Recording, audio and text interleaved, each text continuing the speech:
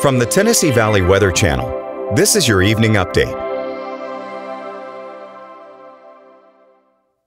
I'll tell you what, it was an oppressive day out there in terms of the weather. It was humid out there, it was hot, and we're staying steady in the 80s here, at least through about 9 o'clock tonight. Now, we'll probably end up somewhere in the 90s when all is said and done, or well, 70s when all is said and done with for lows.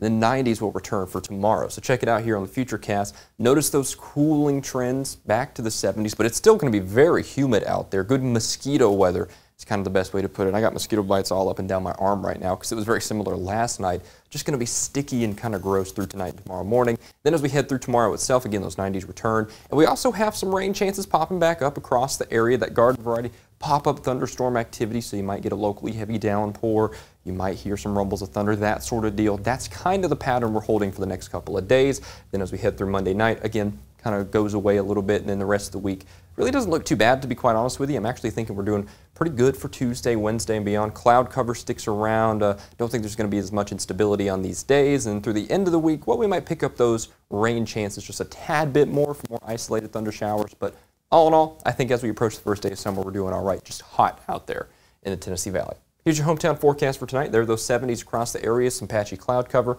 Hopping across the state line, mid 70s are very easily possible just for our lows in North Alabama. That's setting the stage for another hot day, but there is a little bit of a kind of break, right? I, don't want to say cool down because cool is not the word I'd use, but we will be in the lower 90s as compared to the upper 90s, at least temporarily. Then we get right back into the upper 90s really pretty quickly here in the big picture.